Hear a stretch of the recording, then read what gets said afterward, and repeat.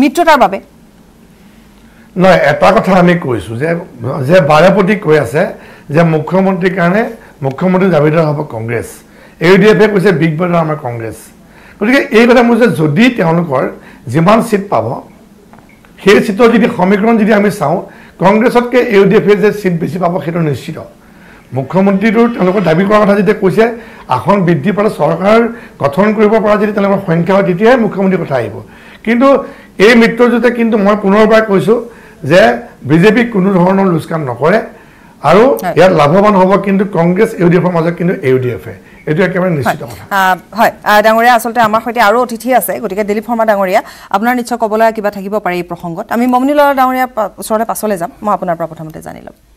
যিখিনি কথা ৰূপক শৰ্মা ডাঙৰীয়াই ক'লে। মই মোৰ বক্তব্যত কথাখিনি ক'ম। মোৰ তেখেতক সুধিবলগীয়া নাই একো। আপুনি ক'বলগীয়া কি আছে সেইখিনি? মোৰ মোৰ কথা আপুনি মোক সোধক মই ক'ম। আপুনি মোক সোধক মই তেখেতৰ প্ৰশ্নৰ উত্তৰ দিবলৈ মই যোৱা নাই। তেখেতৰ প্ৰশ্ন- লগত মোৰ কোনো কথা নাই কাৰণ তেখেতসকলে যিটো কৈছে হতাগ্ৰস্ত উত্তৰ। অৰ্থাৎ হতাগ্ৰস্ত ব্যক্তিৰ এইবিলাক হৈছে উত্তৰ। গতিকে মই তেখেতৰ প্ৰশ্নৰ উত্তৰ আপুনি মোক প্ৰশ্ন। কৰিছো। প্ৰশ্ন একেটাই যে দেখিবলৈ পোৱা গৈছে যে আপোনালোকে মিত্ৰতাৰ পাছতে যথেষ্ট প্ৰশ্ন উত্থাপন হৈছে আৰু বিশেষকৈ দেখিবলৈ পোৱা গৈছে এ আৰ ডি এফ যে লাভান্বিত হ'ব সেই কথাটো বাৰে বাৰে উত্থাপন হৈছে বিজেপিৰ তৰফৰ পৰা। গতিকে ইয়াকে লৈ আপোনাৰ আপুনি প্ৰশ্ন? কৰিছে এতিয়া মই উত্তৰ দিম। মোৰ এনেকুৱা লাগিছে যে কংগ্ৰেছৰ নেতৃত্বত এটা মহাজোঁট বন্ধন হ'বলৈ গৈ আছে। অকল এ ডি এফ নহয় ইয়াত বামপন্থীসকল আছে অন্যান্য আঞ্চলিক ফ'ৰ্চবিলাক হয়তো আহিব। কংগ্ৰেছে আহ্বান দি জনাইছে সকলো গণতান্ত্ৰিক ধৰ্ম নিৰপেক্ষ শক্তিক ইয়াত একগোট হ'বলৈ আহ্বান জনাইছে। আৰু সেই ধৰণৰ এটা কাম কাজ মানে এটা এটা প্ৰক্ৰিয়া এটা আগবাঢ়িছে আৰু কিছু ডেভেলপমেণ্ট হৈছে। মোৰ বিজেপিৰ কিছুমান নেতাৰ কথা দেখি মোৰ এনেকুৱা লাগিছে যে তেওঁলোকে কংগ্ৰেছত জইন কৰিব বিচাৰিছে নেকি? মোৰ এনেকুৱা লাগিছে যে তেওঁলোকৰ কিছুমান বিধায়ক মন্ত্ৰী বা সাংসদ চিন্তাত পৰি গৈছে এই কংগ্ৰেছৰ নেতৃত্বত যে মহাজোঁট বন্ধন হ'বলৈ গৈ আছে তেওঁলোক হতাশ হৈছে তেওঁলোক চিন্তিত হৈছে তেওঁলোকে দিক বিদেশ হেৰুৱাই পেলাইছে তেওঁলোকে ভাবিছে যে আমাৰতো চৰকাৰ অহাবাৰ নহয় নাহিব। এই কংগ্ৰেছৰ ক'ত ক্ষতি হ'ব এ ডি এফৰ ক'ত লাভ হ'ব কংগ্ৰেছৰ কংগ্ৰেছে ক'লাটো এইটো ভাল হোৱা নাই এইবোৰ কথা তেওঁলোকে কিয় চিন্তা কৰিছে? এইবোৰ অসমৰ মানুহে চিন্তা কৰিব। অসমৰ ৰাইজে চিন্তা কৰিব মোৰ এনেকুৱা লাগিছে। প্ৰয়োজনীয়তা কিয় ডেফিনেটলি? আছে? মহাজোঁট? বন্ধন চাওক মহাজোঁট বন্ধন এটা এটা প্ৰক্ৰিয়াৰ মাজেৰে গৈ আছে। কংগ্ৰেছে মহাজোঁট বন্ধনৰ কথা কৈছে। কাৰণ বিজেপিৰ দৰে এটা অসম বিৰোধী শক্তিক অসমীয়া মানুহৰ অসমীয়া খিলঞ্জীয়া বিৰোধী এটা শক্তিক আঁতৰাবৰ কাৰণে সকলো ঐক্যবদ্ধ হোৱাটো আজি তাৰিখত প্ৰয়োজন হৈ গৈছে। প্ৰয়োজন হৈ গৈছে। কাৰণ তেওঁলোকে এ ডি এফৰ বিৰোধিতা কৰে তেওঁলোকৰ বেয়া নালাগে।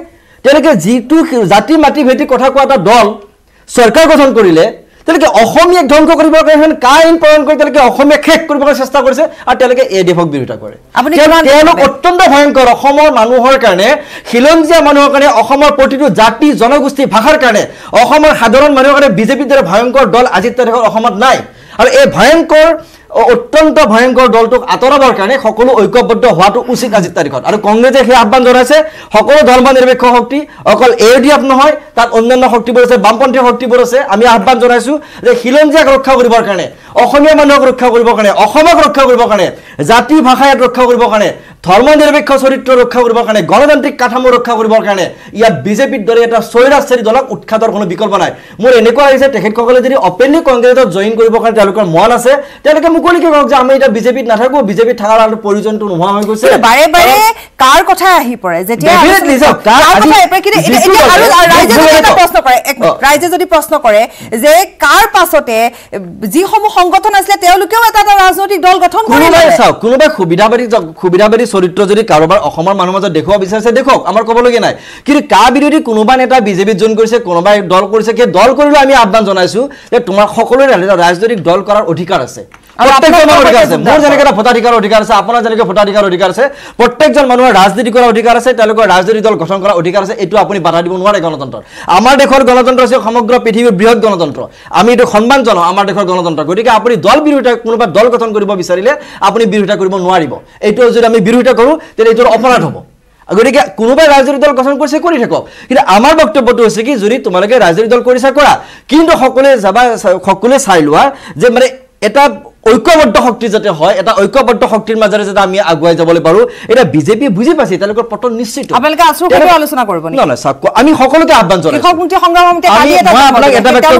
কংগ্ৰেছে কংগ্ৰেছৰ নেতৃত্বত মহাজোঁট বন্ধন যি হ'বলৈ গৈ আছে আমাৰ দলৰ নেতৃত্ব আমি সকলোকে আহ্বান জনাইছো। আহ্বান জনাইছে যে সকলো ধৰ্ম নিৰপেক্ষ গণতান্ত্ৰিক সকলো শক্তি ঐক্যবদ্ধ হওক আঞ্চলিক সকলো শক্তি ঐক্যবদ্ধ হওক আৰু বিজেপিৰ দৰে এটা স্বৈৰাচাৰী অসম বিৰোধী খিলঞ্জীয়া বিৰোধী জনগোষ্ঠী বিৰোধী ভাষা সংস্কৃতিক মানে কবৰ দিব বিচৰা এটা দলক ইয়াৰ পৰা উচ্ছেদ কৰক। এইটোৱে মূল কথা। ৰূপক শৰ্মা ডাঙৰীয়া আপোনাৰ ওচৰলৈ পুনৰ আহিম আমি।